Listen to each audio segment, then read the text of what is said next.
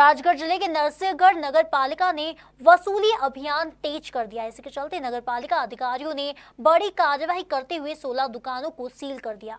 बताया जा रहा है, इन दुकानदारों ने बकाया राशि को जमा करने का नोटिस दिया था, लेकिन इसके बाद भी राशि जमा नहीं की गई।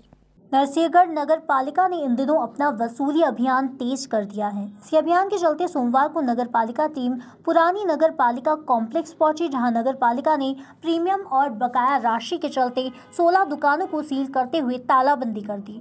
नगर पालिका अधिकारियों का कहना है कि संबंधितों को नोटिस दिए जाने के बावजूद बकाया राशि जमा नहीं किए जाने पर उक्त कार्यवाही की गई है।